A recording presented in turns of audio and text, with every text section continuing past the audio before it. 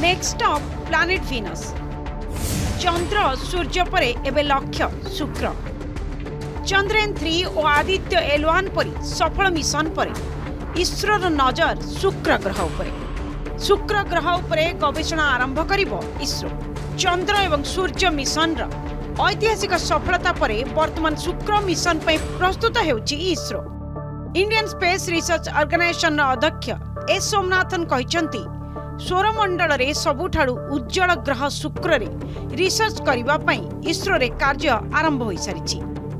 ଆଗକୁ ଆରମ୍ଭ ହେବାକୁ ଥିବ ଏହି ମିଶନ ପାଇଁ ପେ ଲୋଡ୍ ମଧ୍ୟ ବିକଶିତ ହୋଇସାରିଛି।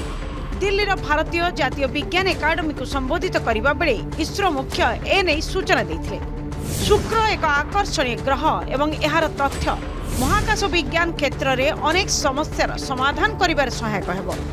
শুক্র এক রোমাঞ্চকর গ্রহ এবং এর বায়ুমণ্ডল মধ্যে রয়েছে কিন্তু এর বায়ুমণ্ডলীয় চাপ পৃথিবী ঠারু শহে গুণ অধিক এবং এহা এসিড্রে পরিপূর্ণ এর পৃষ্ঠকু প্রবেশ করা অসম্ভব এর পৃষ্ঠভূমি কঠিন কি নুহে তাহা বর্তমান পর্যন্ত স্পষ্ট হয়ে পারি না তেবে এঠারে এতে বায়ুমণ্ডলীয় চাপ রহবা পছরে কণ কারণ রয়েছে একথা জাঁয়া এই মিশনর প্রথম লক্ষ্য ସୌରମଣ୍ଡଳର ଉତ୍ପତ୍ତି ବିଷୟରେ ପୁଙ୍ଖାନୁପୁଙ୍ଖ ଜାଣିବାକୁ ହେଲେ ଶୁକ୍ର ବିଷୟରେ ମଧ୍ୟ ଅଧ୍ୟୟନ ଜରୁରୀ।